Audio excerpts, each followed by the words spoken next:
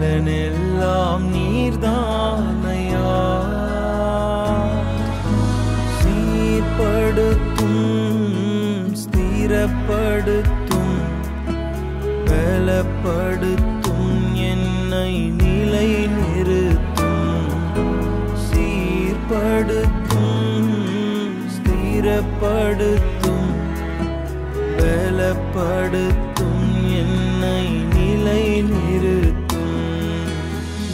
ஞானனே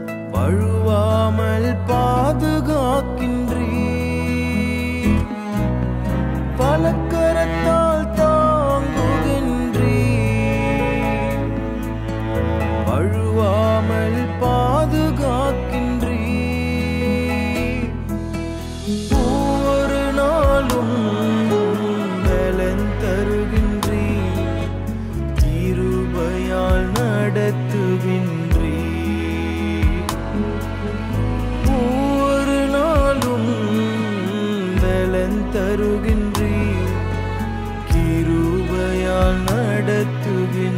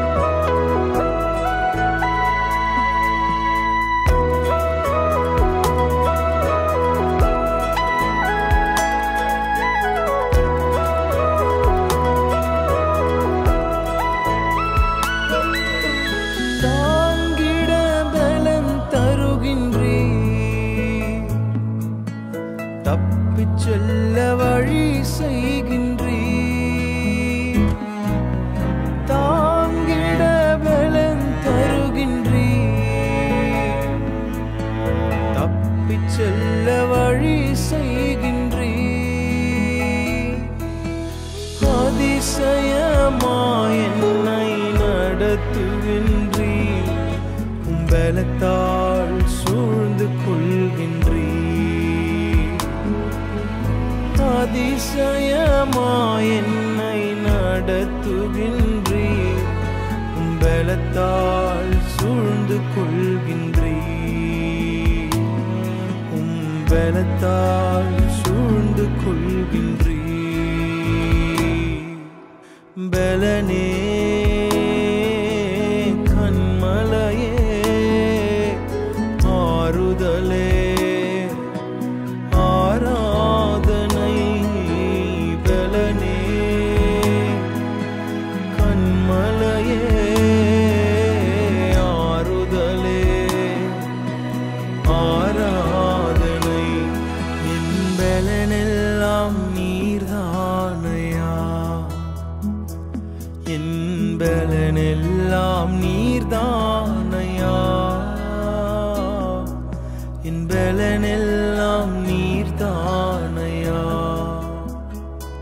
என்பலனெல்லாம் நீர்தானையா? சீர்படுத்தும் ஸ்திரப்படுத்தும் பலப்படுத்தும் என்னை நிலை நிறுத்தும் சீர்படுத்தும் ஸ்திரப்படுத்தும் பலப்படுத்தும் என்னை பலனே கண்மலையே ஆறுதலே ஆராதனை பலனே கண்மலையே ஆறுதலே ஆராதனை. அன்பிற்குரிய இறைமக்களே உங்கள் அனைவரையும் மீண்டுமா இந்த விடியலின் விதைகள் நிகழ்வின் வழியாக சந்திக்கிறதற்காய் ஆண்டவருக்கு மகிமையை செலுத்துகிறேன். உங்கள் ஒவ்வொருவருக்கும் நெஞ்சம் நிறைந்த நல்வாழ்த்துக்களை நான் தெரிவித்துக் கொள்கிறேன். நிறைய நண்பர்கள் என்னோட கூட பகிர்ந்து கொள்கிற ஒரு விஷயம் ஜெபம் பண்ணணும் அல்லது பைபிள் படிக்கணும் அப்படின்னு சொன்னாலே தூக்கம் வந்துடுது. ரொம்ப சோர்வாக இருக்கிற நேரத்தில் தூக்கம் வராமல் இருக்கிற நேரத்தில் கூட நாங்கள் பைபிளை திறந்து வச்சு கூட தூங்கிடுறோம் அப்படின்னு வேடிக்கையாக பகிர்ந்து கொள்வது உண்டு இல்லை கூடுகையிலையும் இல்லை சந்திப்புக்கும் போகும்பொழுது அங்கேயும் மக்கள் சொல்லுகிற ஒரு பெரிய விஷயம் என்னன்னு சொன்னால் ஜெபம் செய்ய போகும்போதே தூக்கம் வந்துடுதுங்கய்யா பைபிளை படிக்க போகும்பொழுது தான் அதிகமாக தூக்கம் வருது அப்படிங்கிறதையும் என்னோடு பகிர்ந்து கொள்வது உண்டு. அன்பிற்குரியவர்களே இன்றைக்கு ஆண்டவர் இந்த காரியத்தை குறித்து தான் நமக்கு தெளிவாக பேச விரும்புகிறார். அது என்னன்னு சொன்னால் திருமறையிலே நமக்காக கொடுக்கப்பட்டிருக்கிற ஒரு மனிதர் வழியாக இந்த ஆண்டவரை நோக்கி கூப்பிடுவது அல்லது ஜெபிக்கிறதை குறித்து ஆண்டவர் நம்மோடு கூட இன்றைக்கு சுருக்கமாக இடைபட விளைகிறார் அதற்காக நாம் நம்மை கடவுளிடத்தில் ஒப்பு கொடுப்போம். மார்க்கு எழுதிய நற்செய்தி நூல் பத்தாம் அதிகாரம் நாற்பத்தி ஆறாவது வசனம் தொடங்கி ஐம்பத்து இரண்டாவது வசனத்திற்குள்ளாக இந்த பகுதி அடங்கியிருக்கிறது. பர்த்திமேயோ என்னும் ஒரு குருடனை பற்றி இங்கே சொல்லப்பட்டிருக்கிறது. அந்த பர்த்திமேயோ என்பவர் இயேசு எரிகோவிலிருந்து ஊழியத்தை நிறைவேற்றி புறப்படுகிறார் என்று கேள்விப்பட்ட பிறகு இயேசு அவ்வழியே வருகிறார் என்பதை அறிந்து தாவிதின் குமாரனே எனக்கு இறங்கும் என்று சத்தமிட்டு கூப்பிடுகிறார். அப்பொழுது கூட இருந்தவர்கள் அந்த இயேசுவுக்கு பின்பதாக சென்ற மக்கள் இவர் பேசாமல் இருக்கும்படி இவரை அதட்டுகிறார்கள். இந்த விஷயத்த ரொம்ப ஈஸியாக நமக்கு புரிய வைக்கணும் அப்படின்னு சொன்னால் நம்ம ஊருக்கு ஒரு எம்எல்ஏவோ அல்லது எம்பியோ வராரு அப்படின்னு சொன்னால் அல்லது லோக்கலில் ஒரு ஊராட்சி மன்ற தலைவர்னு கூட எடுத்துக்கோங்களேன் அவங்க வரும்பொழுது கூட என்ன செய்கிறாங்க அவருக்கு நம்ம ஏதாவது ஒரு கோரிக்கை மூலமாக அவரை நோக்கி கூப்பிடும் பொழுது அந்த எம்எல்ஏோ எம்பியோ அல்லது ஊராட்சி மன்ற தலைவரை நோக்கி கூப்பிடுகிற பொழுது அவங்க என்ன செய்வாங்க? கூட இருக்கிறவங்க ஏன்பா அதெல்லாம் செஞ்சு கொடுப்பாருப்பா கொஞ்சம் அமைதியாக இருப்பா அப்படின்னு நம்மளை அதட்டுவாங்க. எதற்காக அவருடைய பார்வையில் இவர்கள் தங்களை மேன்மை உள்ளவர்களாக அல்லது அவங்க கூட தான் இருக்கிறோம் உங்களுடைய சப்போர்ட்டர் அப்படிங்கிறத காண்பிக்கணும் அப்படின்னு நினைச்சாலும் வீணான சத்தங்களை அவரிடத்திலிருந்து விலக்கி விடுவதற்காக அப்படி அவர்கள் செய்வது உண்டு. இயேசுவினிடத்திலும் ரொம்ப க்ளோஸாக இருக்கிறோம். அல்லது அவருக்கு பின்னாடி நாங்கள் போகிறோம் நீ அமைதியா இரு அப்படின்னு அதட்டுறதுக்காக பருத்திமேயுவை பார்த்து நீ பேசாத அமைதியா இரு அப்படின்னு சொல்கிறாங்க இந்த பருத்திமேயோ ஏற்கனவே தனக்கு பார்வை இல்லாததினாலே பல வருடங்கள் கஷ்டப்பட்டு கொண்டிருக்கிறார். எல்லாரும் நல்லபடியாக நடமாடுறாங்க போகிறாங்க விரும்புகிறத பார்க்குறாங்க இயற்கையின் அழகை ரசிக்கிறார்கள் விரும்பின இடத்துக்கு போகிறாங்க ஆனால் என்னால் முடியவில்லை என்று மனதளவிலே சோர்ந்து போயிருக்கிறார் ஏற்கனவே. இந்த நிலையிலே இயேசுவினுடைய நற்செயல்கள் அல்லது வல்ல செயல்கள் குறித்து இவர் கேள்விப்பட்டிருக்கிறார். ஆகவே அவர் அவ்வழியே வருகிறார் என்று சொல்லி நம்பிக்கையின் அடிப்படையிலே கடவுளை நோக்கி கூப்பிடுகிறார். ஆனால் கூட இருந்தவர்கள் அந்த நம்பிக்கைக்கும் ஒரு சோர்வை ஏற்படுத்தி விடுகிறார்கள். ஆனாலும் பல நேரங்களில் இப்போ சொன்ன எம்எல்ஏ எம்பி அல்லது பெரிய தலைவர்கள் வருகிற பொழுது சத்தமிடுகிற பொழுது நாம் அதட்டப்படுகிற பொழுது நாம் அமைதியாயிடுவோம். ஆனால் பர்த்திமேயோ அப்படி அமைதியாகலை. அவர் என்ன செய்கிறாரு முன்னிலைமையை காட்டிலும் அதிக சத்தமாக கூப்பிடுகிறார். அப்படி கூப்பிட்டதுடைய விளைவு என்னென்னா இயேசு நின்று அவரை திரும்பி பார்த்து கேட்கிறார் நான் உனக்கு என்ன செய்ய வேண்டும்? என்று கேட்கிறார். அவர் சொல்லுகிறார் நான் ஆண்டவரே நான் பார்வையடைய வேண்டும் என்று கூறுகிறான் இயேசு அவனை நோக்கி ஐம்பத்தி இரண்டாவது வசனத்தில் நீ போகலாம் உன் விசுவாசம் உன்னை ரச்சித்தது என்றார். உடனே அவன் பார்வையடைந்து வழியிலே இயேசுவுக்கு பின் சென்றான். அன்பிற்குரியவர்களே இந்த பர்த்திமேயுவும் இயேசுவை நோக்கி பார்க்கிற பொழுது அல்லது இயேசுவை நோக்கி ஜெபிக்கிற பொழுது அவருக்கு ஒரு சின்ன தடை இருந்தது சோர்வு இருந்தது. ஆனால் அந்த சோர்வுகளை எல்லாம் தாண்டி அந்த தடைகளை எல்லாம் தாண்டி அவர் ஆண்டவரை நோக்கி பார்த்ததுனால அல்லது அழைத்ததுனால போய்கிட்டு இருந்த ஆண்டவர் நின்று திரும்பி பார்த்து அவனுக்கு உதவி செய்தார். நம்முடைய ஜெபம் முதலாவதாக அது ஆண்டவரை திரும்பி பார்க்கிற அளவிற்கு இருக்க வேண்டும். ரொம்ப வருஷமாக ஜெபம் பண்ணிகிட்டு இருக்கிறோம். ரொம்ப வருஷமாக இந்த காரியத்துக்காக கேட்டுகிட்டே இருக்கிறோம். ஆனால் எங்களுக்கு பதிலே கிடைக்கல அப்படின்னு விரக்தியில் இருக்கிறீங்களா?